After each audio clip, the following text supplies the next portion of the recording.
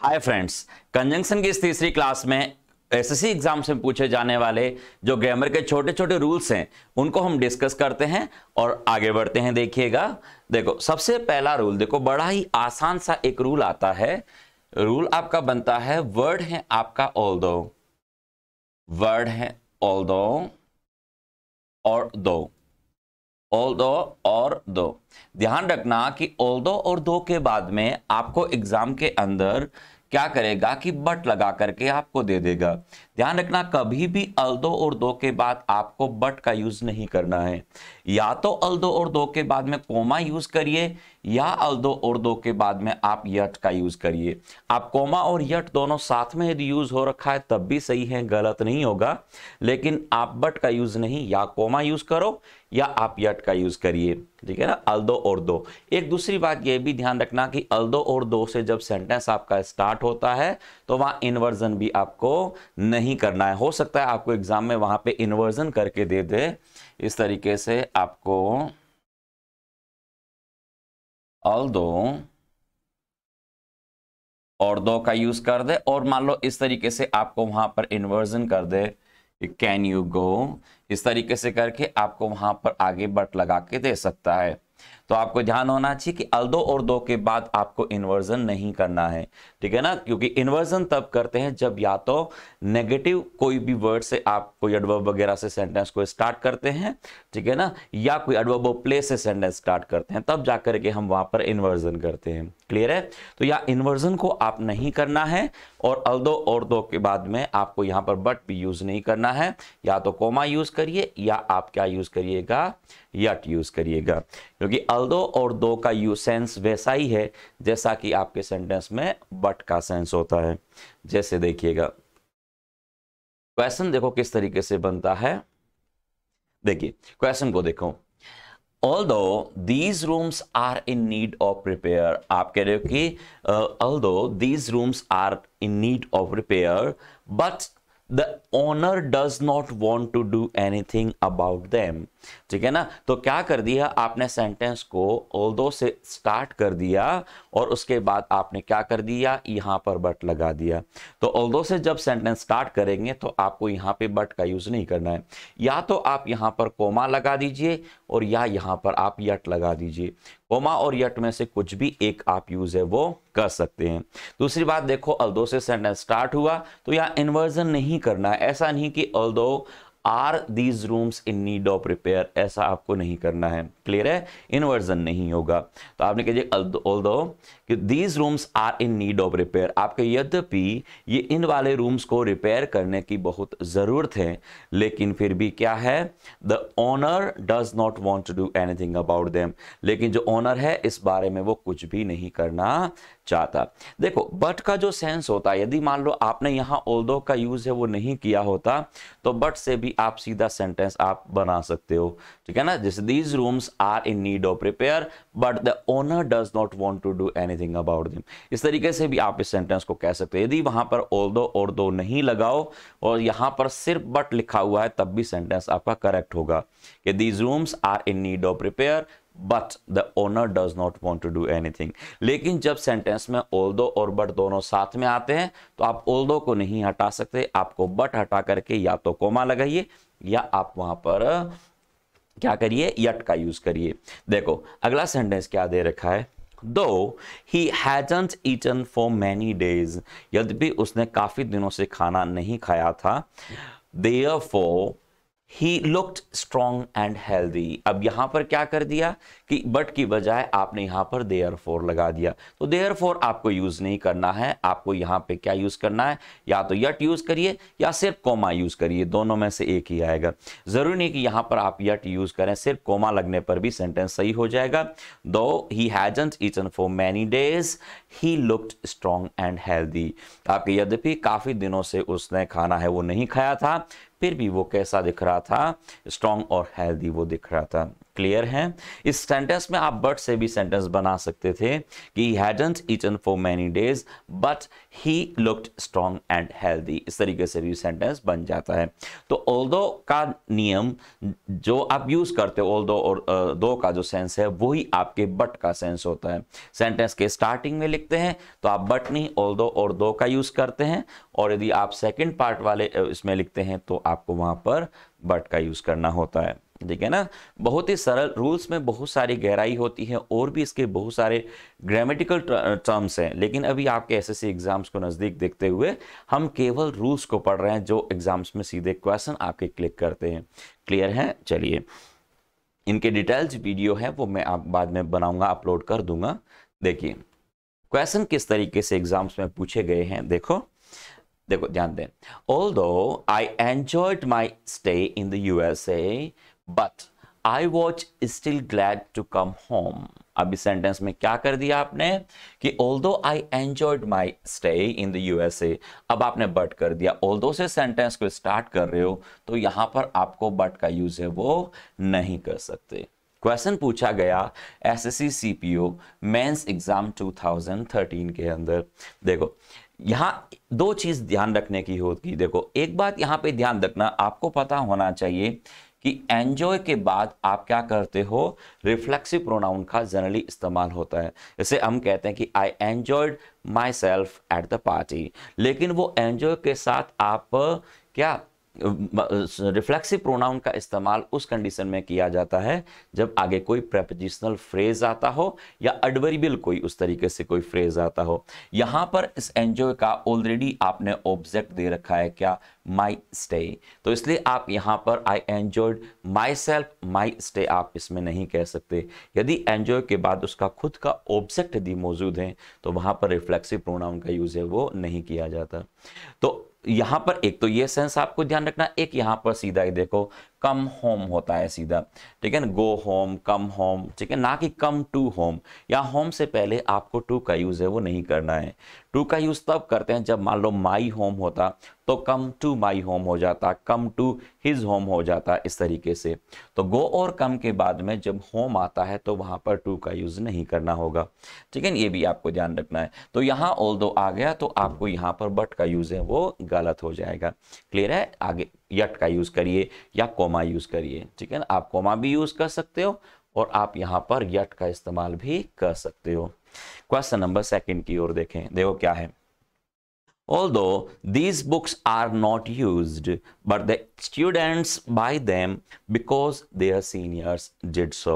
आप कह रहे कि although these books are not used, आप कह रहे कि यद्यपि इन उन किताबों का कोई ज़्यादा कोई महत्व नहीं है, ज़्यादा कोई यूज़ नहीं है, लेकिन क्या है स्टूडेंट्स इसलिए उन्हें बाई करते हैं क्योंकि उनके सीनियर्स ने ऐसा किया है, करने को कहा है या ऐसा उन्होंने किया है। तो although these books are not use but तो बट की जगह या तो यट लगा दीजिएगा या कोमा लगा दीजिएगा। क्वेश्चन पूछा गया S S C G L pre two के एग्ज़ाम में। देखो नेक्स्ट क्वेश्चन देखिएगा। Although these rooms are in need of repair but the owner does not take any notice of their condition question की language हल्की सी इसने change कर दी। और चेंज करके क्वेश्चन पूछ लिया S S C C H S L two thousand seventeen में। क्वेश्चन सेम देखो, ये वाला क्वेश्चन और इससे पहले जो हमने एग्ज़ाम्पल में क्वेश्चन लिया सेम क्वेश्चन दिया। एग्ज़ाम का पैच सेंटेंस का हल्का सा फुल्का चेंज कर दिया though these rooms are in need of prepare but the owner does not take any notice तो यहाँ पर क्या है? बट का इस्तेमाल आप नहीं करेंगे। कोमा ऑलरेडी लगा हुआ है। तो या तो कोमा रखिएगा या आप यट रखिएगा। क्लियर दोनों साथ में है, तब भी कोई प्रॉब्लम नहीं है। देखो question number fourth although the uh, the model GST has been the subject uh, wise scrutiny and debate but most of the discussions have been centered on its road to passage or on its larger form and structure देखिए क्या किया है sentence में although the model GST has been subject wide uh, scrutiny and debate अब आपने क्या कर दिया? बट लगा दिया। तो ओल्दो का इस्तेमाल जब करते हो तो उसके बाद में आपको बट का यूज़ है वो नहीं करना है। क्वेश्चन आपके आईबीपीएस बैंक पीओ 2017 के पेपर के अंदर आपको ये क्वेश्चन पूछा गया था। देखिए अगला क्वेश्चन क्या कह रहा है देखो। Although unable to present any convincing evidence internationally, but Rawalpindi has managed to convince itself that New Delhi remains hostile to idea of Pakistan तो क्या क्वेश्चन के अंदर क्या गलती जा रही है? देखो ऑल्दो से आपने सेंटेंस को स्टार्ट किया और वापस आपने बट लगा दिया। तो ध्यान रहे कि ऑल्दो का इस्तेमाल जब हम करते हैं तो आपको वहाँ पर बट का यूज़ नहीं करना है। या तो यट यूज़ करिए, या आप वहाँ पर कोमा यूज़ करिए। कितना आसान और एक सरल सा रूल है, जो आपके एग्ज़ाम्स में बार बार बार बार पूछा जाता है। ठीक है? चलिए। ओके ध्यान रहे यहाँ हम केवल एसएससी के उन क्वेश्चंस को पढ़ रहे हैं, जो बार बार आपको रिपीट किए जाते हैं बार बार एग्ज़ाम्स में आपके पूछे जाते हैं। देखो, अगला जो रूल है आपका, देखो, इस रूल में क्या है, देखो, जो वर्ड्स आप यूज़ कर रहे हैं, ये तो नेगेटिव वर्ड्स हैं। देखो, आपने सेंटेंस सेल्डम से आपका स्टार्ट होगा सेल्डम सेल्डम में क्या होता है कि सेल्डम के बाद यदि आपने इफ़ लगा रखा है तो आपको आगे नेवर का इस्तेमाल नहीं करना है आपको यूज़ करना है एवर क्या यूज़ करना है? एवर यूज़ करना है। तो सेल्डम के साथ इफ़ आएगा तो आपको वहाँ पर कॉन्ट्रास्ट बता रहा है इफ़ तो आपको अपोजिट वर्ड यूज़ करना पड़ेगा। सेल्डम नेगेटिव है तो एवर यहाँ पर पॉजिटिव वर्ड यूज़ करना होगा। इसी तरीके से यदि मान लो आपने सेल्डम यूज़ कर दिया, और सेल्डम के साथ यदि और है तो आपको वहाँ पर एवर का यूज़ नहीं करके आपको क्या यूज़ करना पड़ेगा? नेवर का यूज़ करना पड़ेगा। क्लियर है? तो सेल्डम के साथ इफ़ होगा तो एवर आएगा, और सेल्डम के साथ और होगा तो नेवर आएगा। टॉपिक आपके कंजंक्शन का एक रूल है। तो देखो क्वेश्चन इस तरीके से भी बन सकता है कि आप इस तरीके से भी चेंज कर सकते हैं। जैसे सेल्डम आ रखा है, और सेल्डम के साथ इफ़ लगा करके आपको वहाँ पर आगे नेवर दिया हुआ हो। ठीक है ना? तो आप यहाँ इफ़ की बजाय आप यहाँ पर और करके भी सेंटेंस को सही कर सकते हैं। ठीक है ना? इस तरीके से आपको सेल्डम लगा दिया और सेल्डम के साथ आपको और लगा करके आपको एवर लगा के दिया जा सकता है। और आगे सेंटेंस एकदम करेक्ट है। तो और की बजाय आप क्या कर सकते हैं? इफ़ का यूज़ है वो करें। क्लियर है? तो दो सेंस आपको यहाँ पे ध्यान रखना है। तो एवर और नेवर का चेंज भी किया जा सकता है। वो सेंटेंस पे डिपेंड करता है कि कौन से पार्ट में गलती सुधारें ताकि सेंटेंस आपका करेक्ट हो रहा है।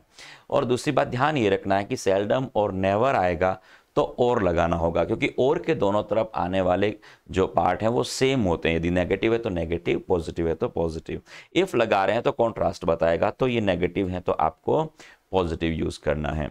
ठीक है ना?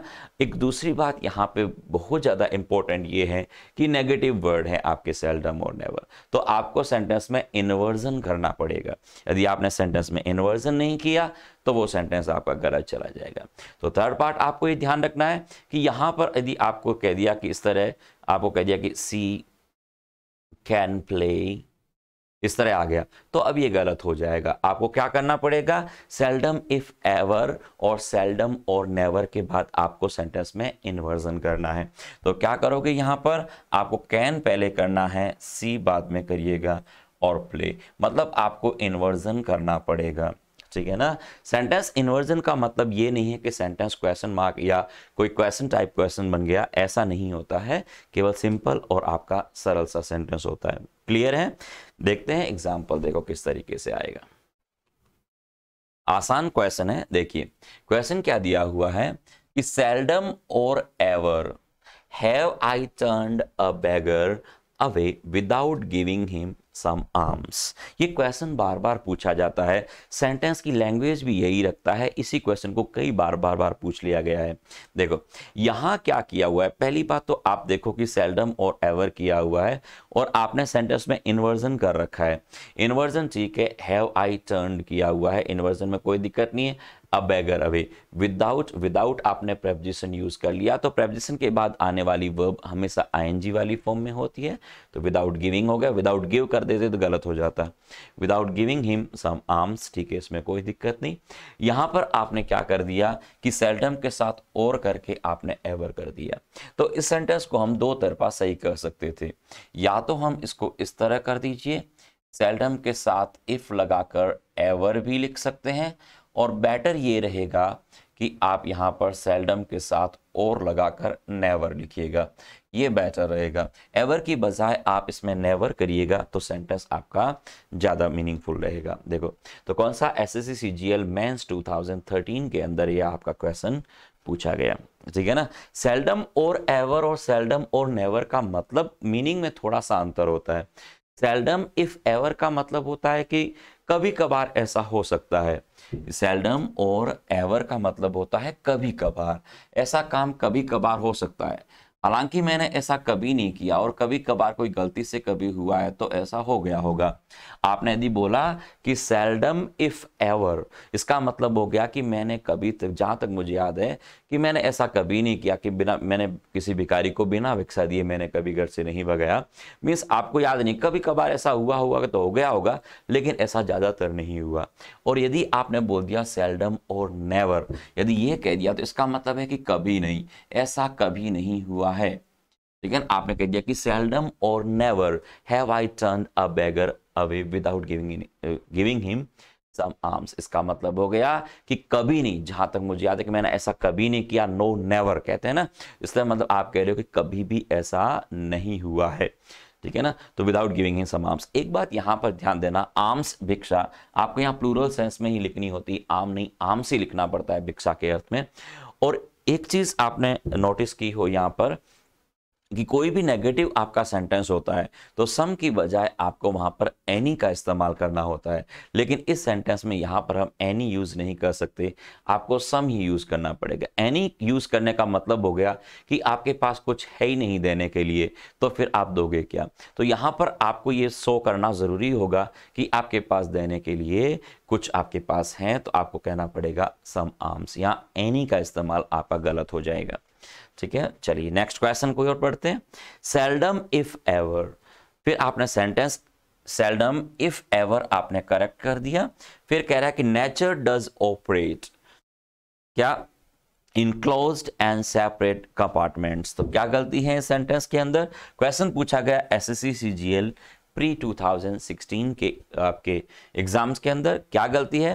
कि आपने सेल्डम इफ़ एवर तो सही लिख दिया, इसमें कोई प्रॉब्लम नहीं है। यदि वहाँ और होता तो नेवर करते, अन्यथा आपने इफ़ एवर ठीक है। अब इसके बाद क्या नेचर डज ऑपरेट यहाँ पर क्या कर दिया आपने?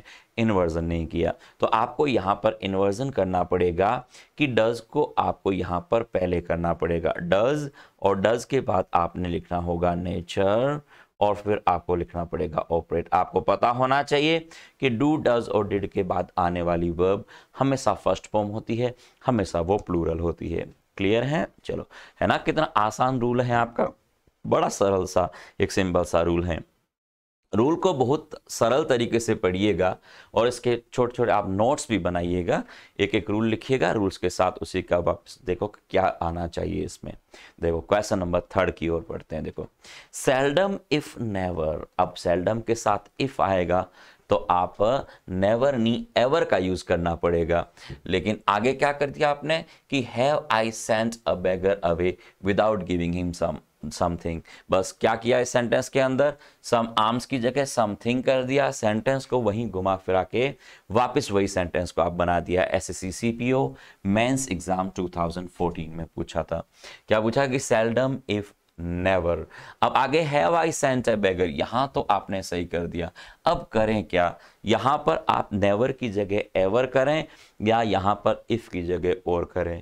ठीक है ना? ध्यान रखना, जब भी कभी ऐसा सेंटेंस आता है तो नेवर और एवर को चेंज करने की बजाय, यदि वहाँ पर आपको कंजंक्शन को चेंज करने की बात हो तो आप वहाँ पर कंजंक्शन चेंज करें। यदि यहाँ पे आई हैव होता तो जब, ज़रूरी हम इसमें क्या करते कि इसमें एवर करके हम इसमें हैव आई कर देते। लेकिन यहाँ नेवर हैव आई एकदम सही लिखा हुआ है तो यहाँ पर आपको इफ़ की बजाय आपको और कहना पड़ेगा। सेल्डम और नेवर ठीक है जहाँ तक कंजंक्शन चेंज करने की बात आती है तो आपको कंजंक्शन ही वहाँ पर चेंज करना है। ये ओ इफ़ ही आपको चेंज करना पड़ेगा। क्लियर है? एडवेरिएबल चेंज हम बाद में करते हैं, जब ये और यहाँ पे सही होता है इफ़ और और यदि सही बैठे, तब। ठीक है ना? चलो क्वेश्चन नंबर फोर्थ की ओर बढ़ते हैं। क्या कह रहा है सेंटेंस आपसे? कि सेल्डम और एवर अब have I tried my best of defence my friends who are after all guilty to some extent देखिए, क्या इस सेंटेंस में क्या गलती होनी चाहिए? देखो, यहाँ पर एवर हैव आई ट्राइड आपने सही लिखा हुआ है और सेल्डम और एवर लिखा हुआ है। तो क्या करना होगा? सेल्डम और एवर की बजाय आपको कहना पड़ेगा सेल्डम इफ़ क्या कहोगे?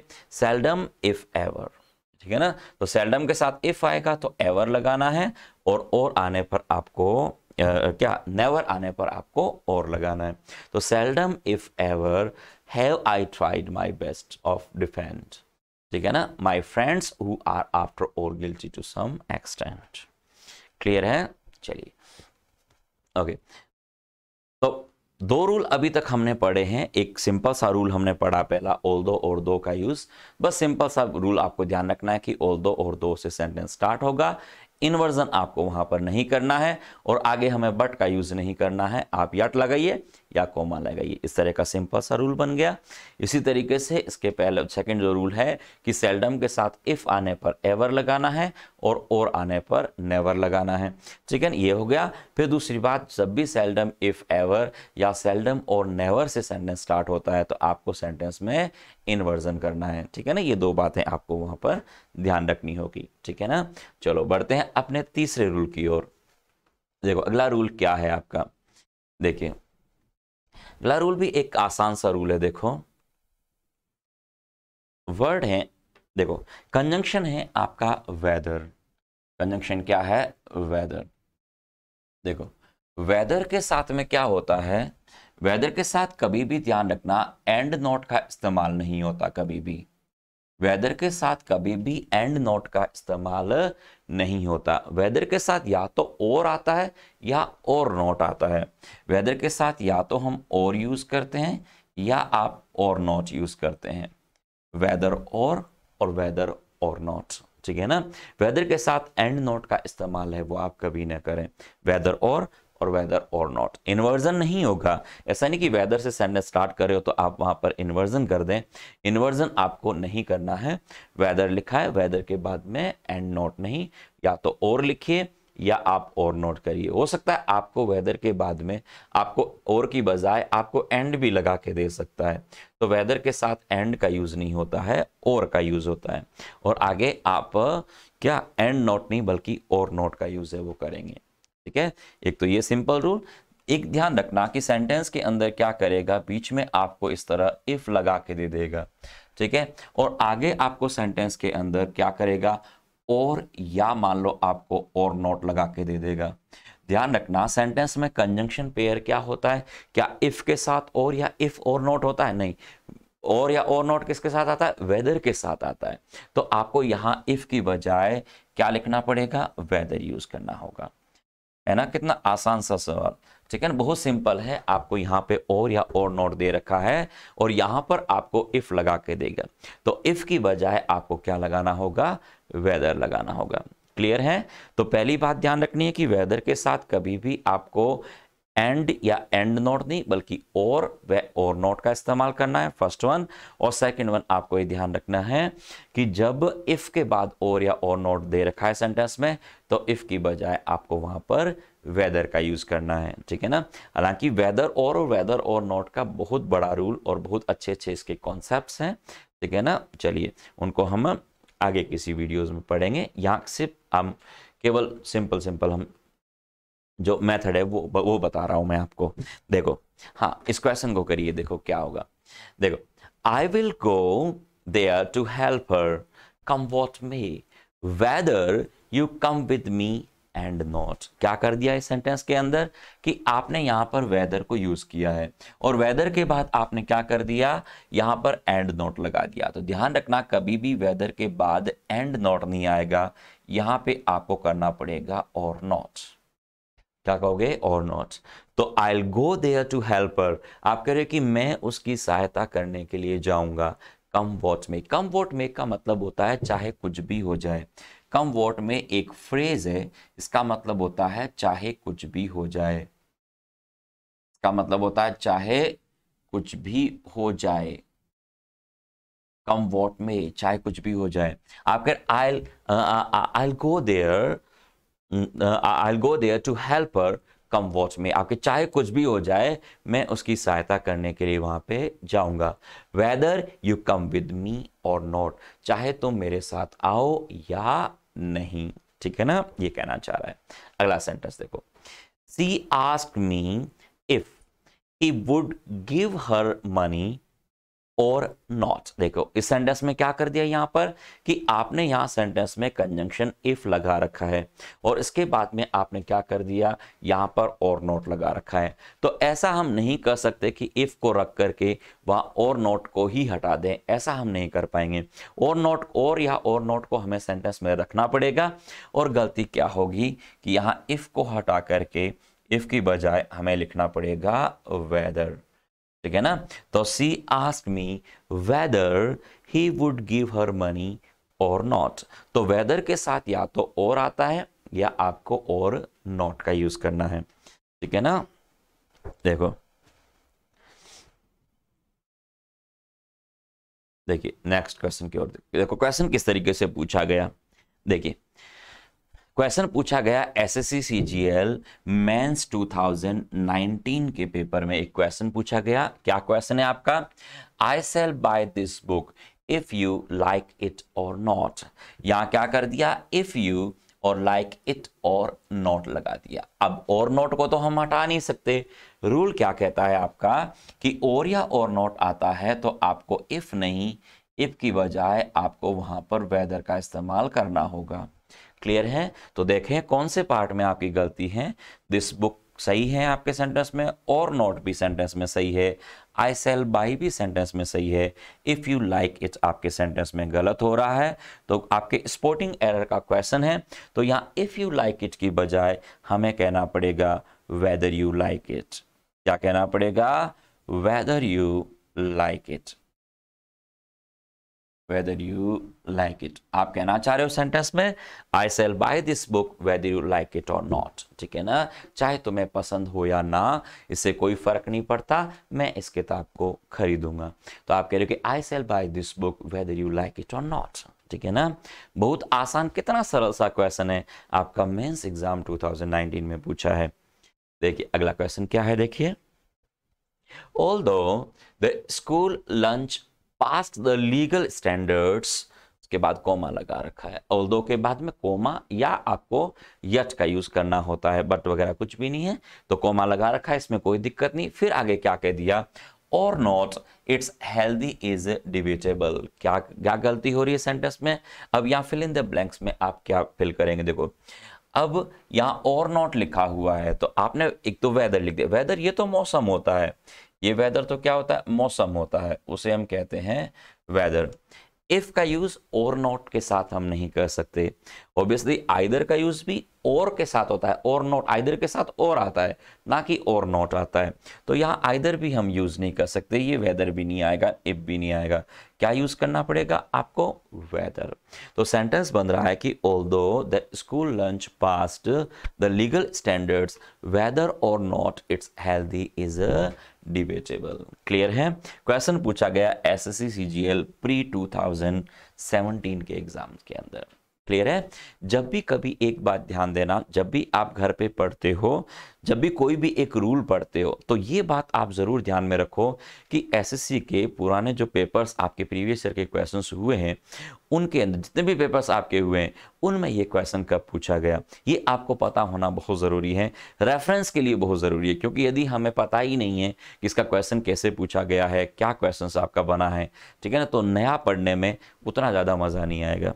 क्लियर है ना? और वो याद भी नहीं रहता है। लेकिन आपको ये पता है, ये क्वेश्चन किस तरीके से पूछा है पहले तो वो रूल याद करना उतना ही आसान हो जाता है।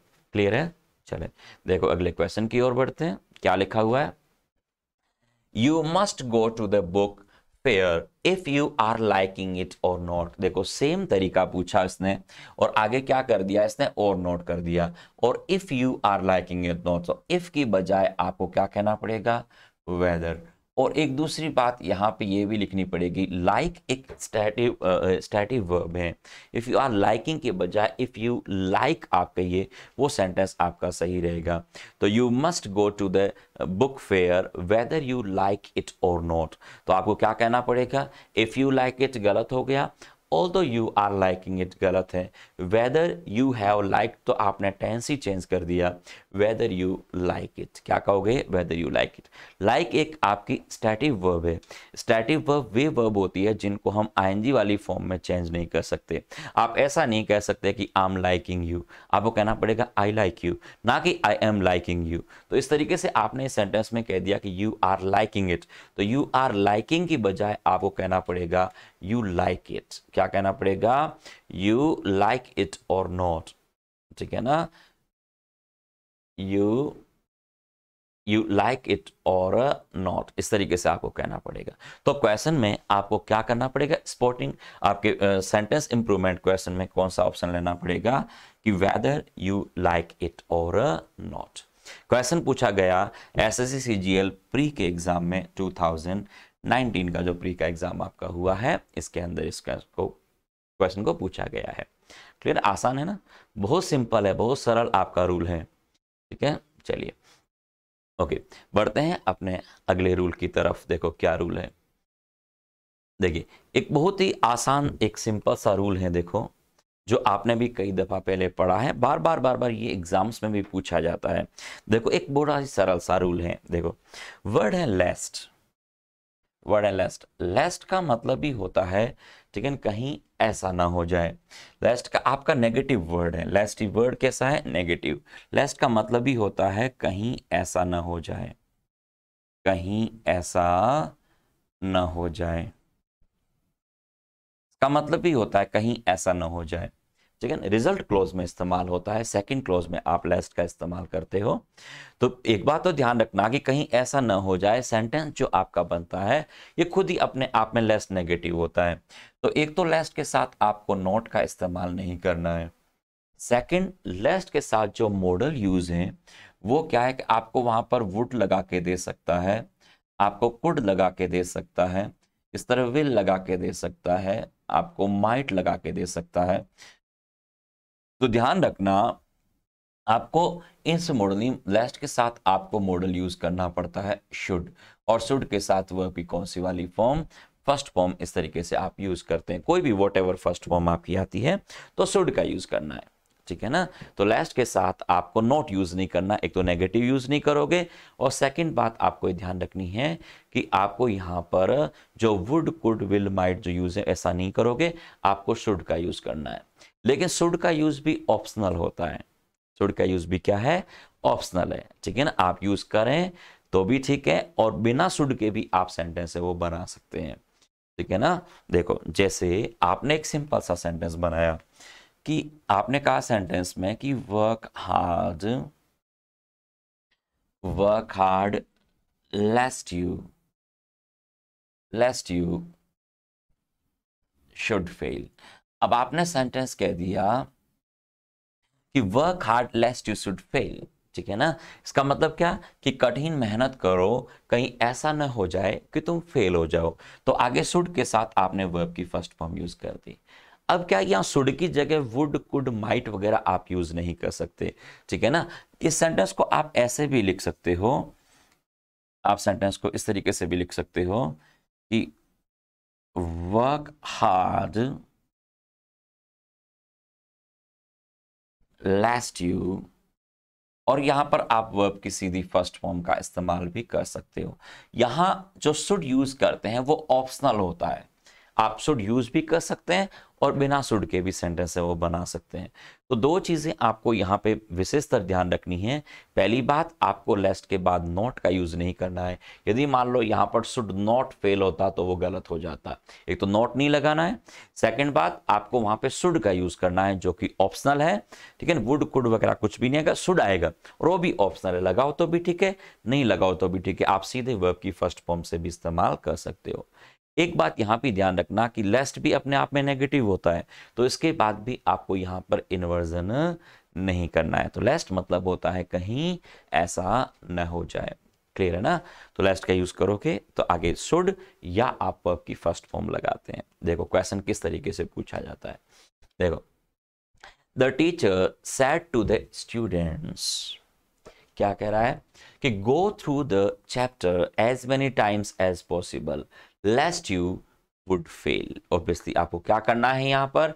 लेस्ट आपने लगा दिया तो वुड की बजाय आपको यहाँ पे लिखना पड़ेगा शुड तो the teacher said to the students go through the chapter as many times as possible ठीक है लेस्ट यू शुड फेल यहाँ गो थ्रू का मतलब क्या होता है? पूर्ण रूप से चेक करना एंटायरली स्टार्ट से लेकर एंड तक आपके पूरे पूरे चैप्टर को तू पढ़ ले गो थ्रू हो जा मतलब पूरे पूरे चैप्टर को चेक कर ले, ठीक है ना? ये कहना चाह रहा है। देखो, अगला क्वेश्चन देखो क्या कह रहा है आपसे, कि I not go to the party lest you will promise to accompany me इस सेंटेंस को देखना। क्वेश्चन पूछा गया S S C C G L mains two thousand nineteen के पेपर में। क्या क्वेश्चन है? देखो I'll not go to the party अब आपने कही लेस्ट यू विल पहली बात तो लेस्ट जब लगाते हैं तो उसके साथ विल का यूज़ आप नहीं कर सकते। अब लेस्ट के साथ विल का यूज़ नहीं कर सकते, इसका मतलब इंप्रूवमेंट आपको यहाँ पे करना पड़ेगा। दूसरी बात, अब आपने लेस्ट का तो कोई ऑप्शन ही नहीं बनाया। लेस्ट का ऑप्शन नहीं बनाया तो अब हो सकता है लेस्ट की जगह हमें दूसरा कोई यूज़ करना पड़े। अब अंटिल आपने यूज़ कर दिया अंटिल के साथ भी सुड का यूज़ मॉडल का यूज़ हम यहाँ पर नहीं करेंगे। इफ़ के साथ भी आप विल का यूज़ नहीं कर पाओगे। जो इफ़ होता है वैन है, आप इस तरीके से जो यूज़ करते हैं एज सुन एज वगैरह तो इनके साथ आपको किसका यूज़ मतलब मॉडल का यूज़ है, वो आपको यहाँ पर नहीं करना है। तो बचा कौन सा यहाँ पर? अनलेस बच गया। तो ये अनलेस का आपका रूल है। क्वेश्चन में आपको लेस्ट के साथ विल लगा के दिया ऑप्शन में लेस नहीं, आपको अनलेस का सेंटेंस बना दिया। कि I will not go to the party unless you promise to accompany me ठीक है ना? या आपके यदि तू मेरे साथ चलने का वादा ना करे तो मैं इस पार्टी में नहीं जाऊँगा। तो आपको यहाँ पर क्या लगा दिया? इफ़ नॉट के सेंस को आपने अनलेस से लिखा हुआ है। रूल है आपका अनलेस का ये। अनलेस का रूल हम पिछले वीडियो में पढ़ चुके हैं। ठीक है ना? चलो, देखो नेक्स्ट बहुत सरल है, इस रूल में कोई ज़्यादा प्रॉब्लम नहीं है। बहुत सरल सा रूल है, सब जनरली आप लोग वाकिफ होंगे इस रूल से। बहुत सिंपल सा रूल है। लेस्ट के साथ में नॉट नहीं लगाना है और आगे शुड का यूज़ करना है जो कि ऑप्शनल होता है। लगाओ तो भी ठीक है, नहीं लगाओ तो भी ठीक है। ठीक है ना? जैसे मान लो एक सरल सा जो जगह जगह देखो, ये लिखा होता है। आपने कहीं पढ़ा होगा, जैसे कि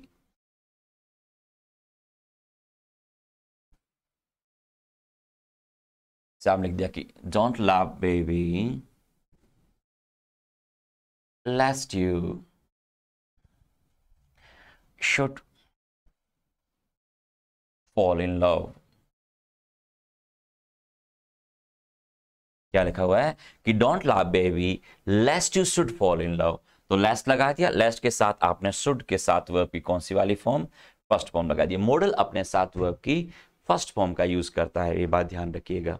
ठीक है ना? तो don't love baby lest you should fall in love क्या मतलब हुआ है सेंटेंस का? कि हसमत पगली, प्यार हो जाएगा। ठीक है ना? तो आपने यहाँ पर सेंटेंस में क्या किया है? लेस्ट लगाया है और लेस्ट के बाद में आपने शुड का यूज़ किया है। और शुड के साथ फ़र्स्ट फॉर्म आपने यहाँ शुड नहीं लगा करके सीधा भी सेंटेंस कह सकते हो कि don't love baby lest you fall in love ठीक है ना? आप इस तरीके से सेंटेंस है, वो सीधा बना सकते हैं। क्लियर है? चलिए।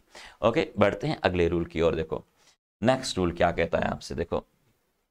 हाँ देखो, सरल सा रूल है, इसमें भी, देखो, एक बात ध्यान देना इधर। अगला रूल क्या है? एक आपको सेंटेंस में क्या करेगा? इस तरह वांटेड टू नो आएगा। ये क्वेश्चन काफ़ी पूछे जाने वाले क्वेश्चन में से एक है। देखो वांटेड टू नो और वांटेड टू नो के बाद में वो क्या कर देगा? आपको यहाँ पर दैट लगा के दे देगा।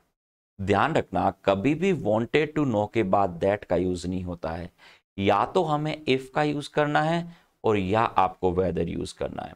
जब भी कभी ध्यान रखना कि इफ़ और वेदर में से आपके पास चॉइस आ जाए कि इन दोनों में से कौन सा लिखें तो हमेशा वेदर को आप प्रेफरेंस दीजिएगा।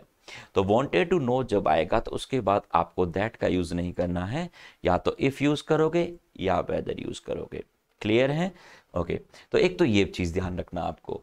और एक दूसरा सबसे इंपॉर्टेंट चीज़ है, देखो, कि जब भी कभी, देखो, आप कभी भी सेंटेंस के अंदर जब भी कभी कोई डब्ल्यू एच वर्ड लगाते हैं, जिस तरह मान लो आपने ये वाई कह दिया, आपने विच कह दिया, ठीक है ना, आप इस तरीके से वैन कह दो, या कोई भी इस तरह आपने डब्ल्यू एच वर्ड का इस्तेमाल कर दिया तो ध्यान रखना कि डब्ल्यू एच वर्ड का इस्तेमाल करते हो तो उसके पहले क्या यूज़ नहीं कर सकते? इस तरह दैट का यूज़ नहीं करना है, आपको इफ़ का यूज़ नहीं करना है और ना ही आपको इस तरह वेदर का यूज़ करना है।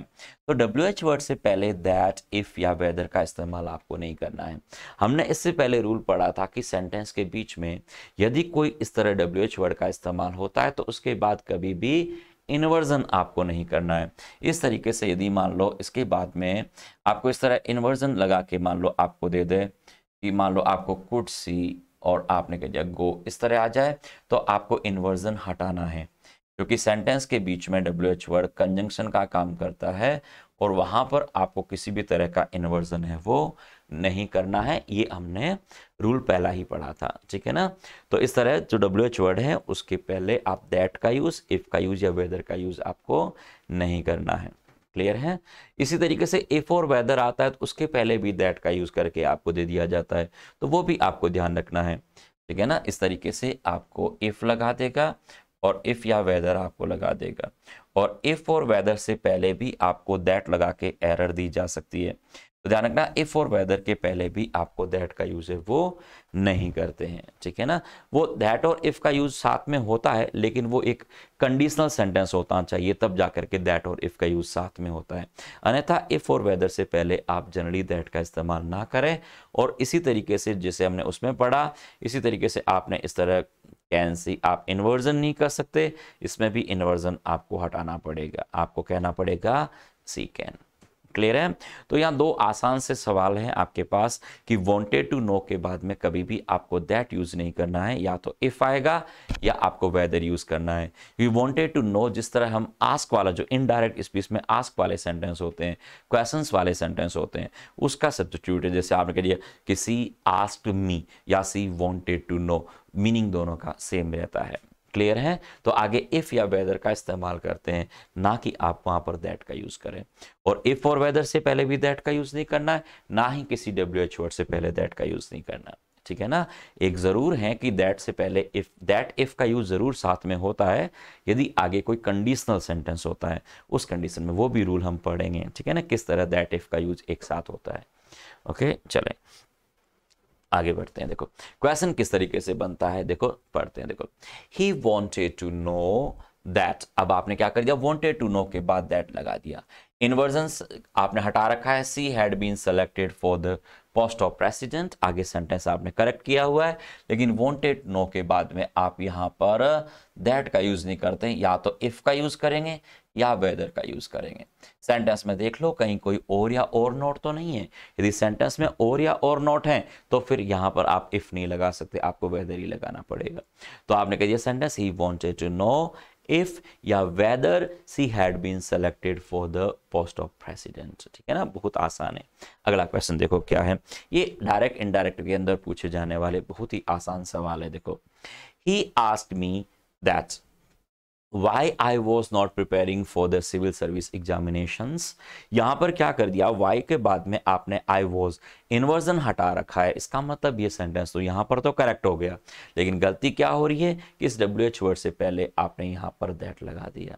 तो कभी भी ध्यान रखना, ऐसे सेंटेंस के बीच में जो डब्ल्यू एच वर्ड आता है इफ़ आता है या वेदर आता है, उसके पहले आपको दैट का यूज़ है, वो नहीं करना है। क्लियर है? ओके चलिए तो ये थे आपके बहुत ही सरल सरल आपके रूल आगे वीडियोस काफ़ी चलेगा, अभी तो बहुत सारे रूल्स हैं आपके, ठीक है ना? ओके तब तक के लिए कॉल टुडे बाय बाय